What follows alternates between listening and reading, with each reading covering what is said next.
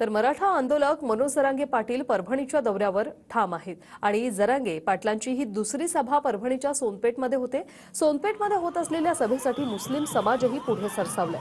तर सकाल मुस्लिम समाजाकडून सोनपेठमध्ये मराठा बांधवांसाठी चहा नाश्ता आणि पाण्याची व्यवस्था करण्यात आली आहे मराठा आंदोलक मनोज जरांगे पाटील आज परभणी जिल्हा दौऱ्यावरती आहे. परभणीच्या सेलू या ठिकाणी जरांगे पाटील यांची पहिली सभा संपली आणि त्यानंतर आता कुठेतरी परभणीच्या सोनपेठ येथे दुसरी सभा जरांगे पाटील यांची काही वेळात होणार आहे.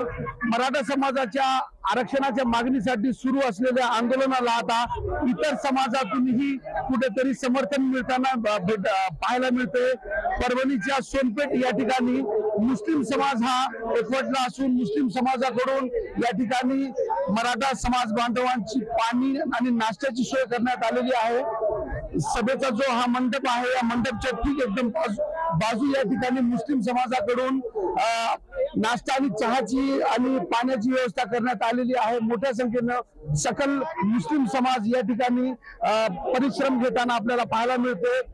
कॅमेरा पर्सन सय्यद सिझरसह नझीर खान टीव्ही नाईन मराठी परभणी. हे लाईव्ह दृश्य आपण पाहतोय कशा प्रकारे सोनपेठमध्ये जरांगे पाटील यांचं स्वागत केलं जात आहे त्यांच्या गाडीवर. पुष्पवृष्टी करण्यात येते.